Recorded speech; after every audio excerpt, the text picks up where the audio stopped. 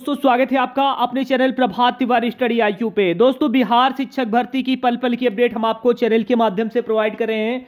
बहुत सारे ऐसे हमारे अभ्यर्थी हैं जो बिहार शिक्षक का फॉर्म भरे हैं और उनका एक ही क्वेश्चन आ रहा था कि क्या सर एक विषय, एक रिज़ल्ट होगा जारी? ठीक है, बहुत ज़्यादा डिमांड्स आ रही थी। और उनका कहना कि सर, एक विषय पर एक ही अभ्यर्थियों का रिज़ल्ट जारी होना चाहिए, ठीक है?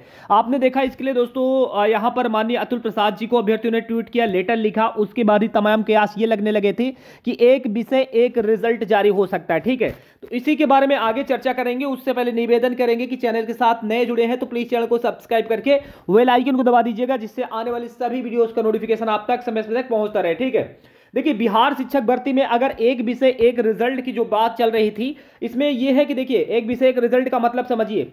अगर आपका माध्यमिक में चयन हो जाता है, आपका यहाँ पर प्राइमरी में चयन हो जाता है और आपका अपर प्राइमरी ठीक है, उच्च माध्यमिक में अगर चयन हो जाता है तो कहीं ना कहीं दोस्तों आप लोग एक लोग चार सीट पे फाइट करेंगे। चार जगह अपनी सीट को बुक कर लिए। लेकिन आपको जॉब तो एक ही करना है, चाहे माध्यमिक में करिए, चाहे उच्च माध्यमिक में करिए, चाहे प्राइमरी में करिए, ठीक है?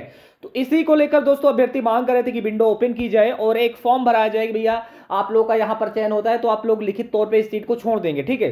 तो वहाँ पर एक न्यूज़ आई है, इसी के बारे में चर्चा करेंगे। बिहार शिक्षक भर्ती एक रिज़ल्ट, एक विषय होगा जारी नीतीश कुमार, ठीक है? ये न्यूज़ अभ्यर्थी सर्कुलेट कर रहे हैं। एक चीज़ बच्चों बताना चाहता हूँ कि हम इसके बिल्कुल सपोर्ट में हैं, लेकिन अभी तक ऐसी कोई भी न्यूज़ आयोग की तरफ़ से या भर्ती बोर्ड की तरफ़ से नहीं जारी की गई है। लेकिन आने वाले कुछ समय के बाद आपको देखने को मिल सकता है। आप लोग बताना क्या एक विषय एक रिज़ल्ट जारी होना चाहिए? जो भी राय हो, कमेंट सेक्शन मेंशन करना। चैनल के साथ नए जुड़े हैं तो चैनल को सब्सक्राइब करके बेल आइकन दबाना। जय हिंद।